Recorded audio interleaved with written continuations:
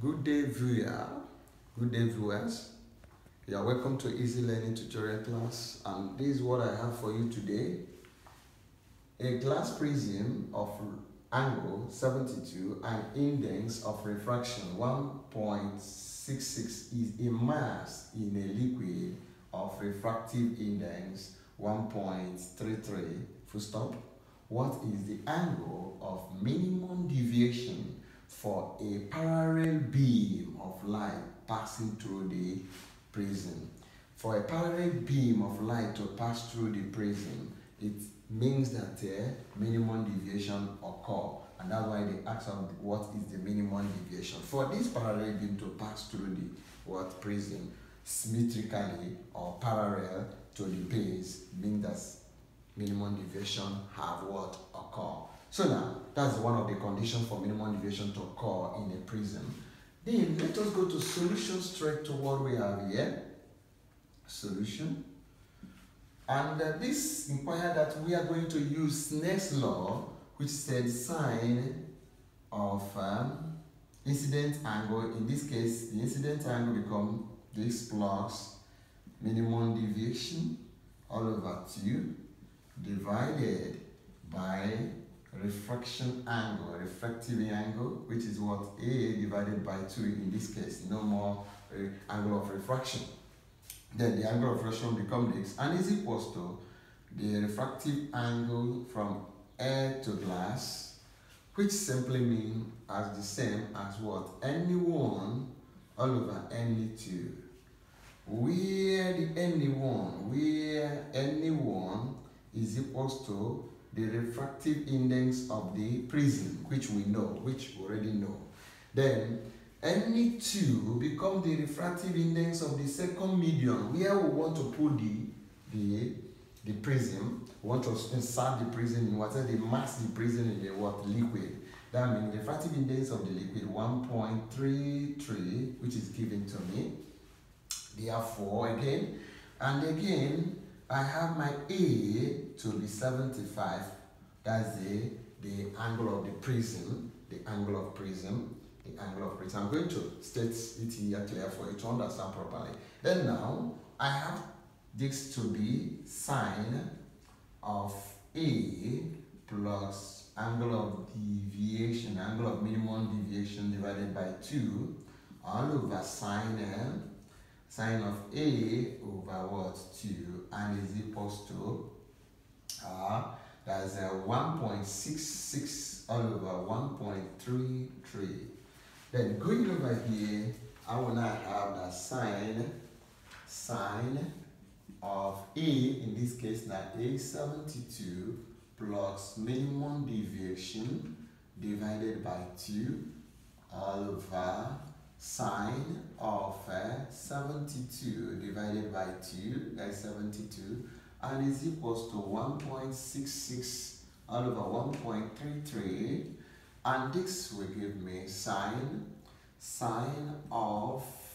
72 plus minimum deviation divided by 2 all divided by sine of uh, 36 and is equals to 1.66 all over 1.33. Then when we divide that, and when we divide this strictly, when we divide this with the calculator, you will have 1.2481. Then now, cross multiplication, this is over 1, you remember? This is over 1, cross multiplication. I will have that my sine into 72 plus dim, minimum deviation, all over 2. This gives me 1.2481 times sine 36. Give me times 36. That implies that sine 72 plus dim, minimum deviation, all over 2 all equals to 1.2481 times sine 36. Sine 36 will give me 0 0.587778 seven eight seven seven nine okay uh, I can make it a seven seven eight seven seven nine mm.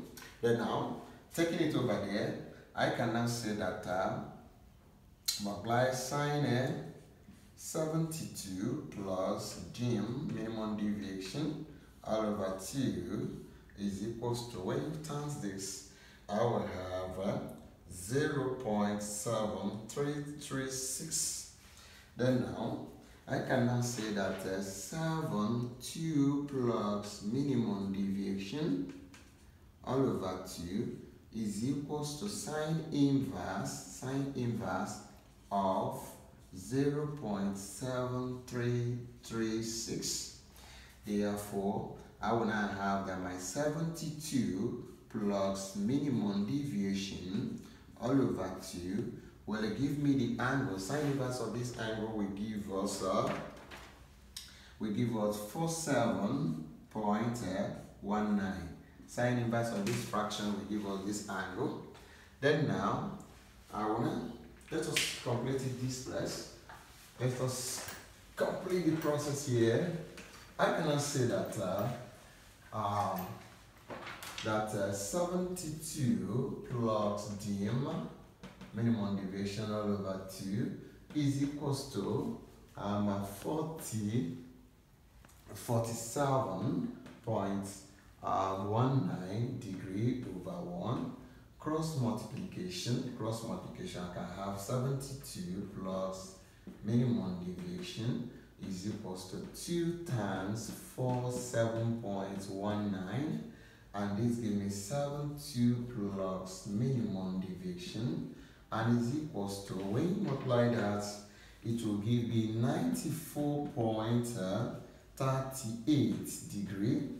And that will give me that uh, my minimum deviation my minimum deviation is 94.38 degree minus 72 therefore the minimum deviation which we are asked to find is giving us um, minimum deviation is equals to is equals to 22.38 and that's the answer of this particular WAEC question. This is a WAEC question, WAEC question for part B of WAEC question. So this answer to this particular question, which they ask us to calculate the minimum deviation. Then, some of you may be confused how we get this formula.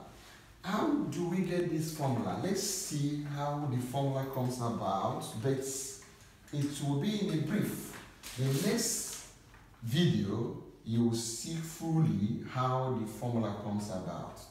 And that's a ray is incidented on this, and this is a normal, this is incident angle, and this man move, and uh, this is normal as well again if I draw normal like this this uh, this ray move this way which is uh, emerge out this is incident and this become what? Emergent angle. This ray is supposed to be moving this way. This is how it's supposed to continue but it deviated this. This one coming over here we are assuming that is coming from this and that's give me this. And this become the minimum deviation. This become deviation which makes this line this this ray which is moving supposed to move this way. But i saw the ray moving this way. So what angle does it use to deviate he used this angle to deviate from the same the line is supposed to be moving. Then this which i draw here is a normal and this angle here is a what? The angle of what? Prism the prism angle which is what? A.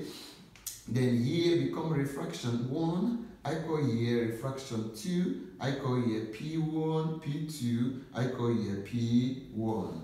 And uh, we can now say that there, that R1 plus R2 is equals to A. Remember, the two opposite angle of a triangle is equals to exterior angle. The two opposite interior angle of a triangle is equal to the what? The exterior angle of that triangle. That what we do here.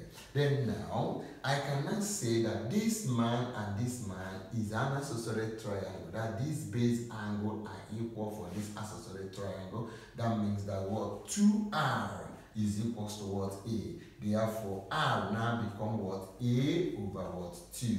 That means the refraction when I say sine a i over sine a r. In this case, this r become a divided by 2. That's what you saw in that particular question. Then again, in our subsequent video, I will continue to you know prove this formula. You'll be able to solve question on that formula. So subscribe on this so that the next question, because there's the question where where asks for us to prove this formula we have stated, where asks us to prove the formula which is A plus what? dim, minimum deviation, divided by 2 all over sine A all over 2. Where asks us to prove this formula in certain years. So which we are going to treat.